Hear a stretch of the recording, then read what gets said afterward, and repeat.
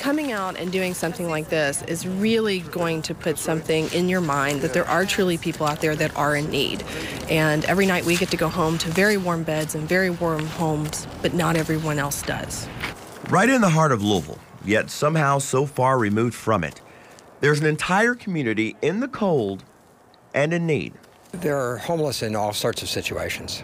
Uh, I think sometimes we have stereotypical ideas of what homeless are like, but in fact, there are young people who are homeless, there are veterans who are homeless, there are older people who are homeless, there are people who have been homeless for a long time, and there are people who are just newly homeless because they've been evicted. On this 25 degree night, accompanied by volunteers with the Homeless Coalition, we met a 56 year old Marine Corps veteran named Steve. He's been homeless for 25 years.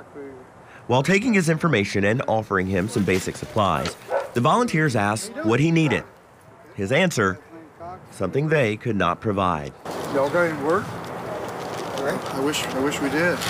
That's probably the hardest part is you you never feel like you can do enough.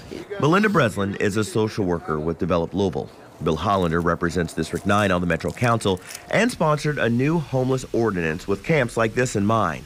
It's designed to give adequate notice to people living in homeless camps before the camps are cleaned up or cleared out. Folks who are living paycheck to paycheck uh, and don't have uh, much income are really just um, one calamity away from being homeless. On this night, Steve's story is only one these volunteers will hear, hoping in some way they can help each one. Armed with flashlights and stocked with blankets and hats, they press on, disappearing into woods, searching, knowing every step, every person counts. We never stop running into people. Um, you will sometimes run into the same people again, and you remember a little bit more about their story, and you have to add to that, and it's not always the happiest of details. According to recently released numbers, there are more than 6,000 homeless people in Louisville.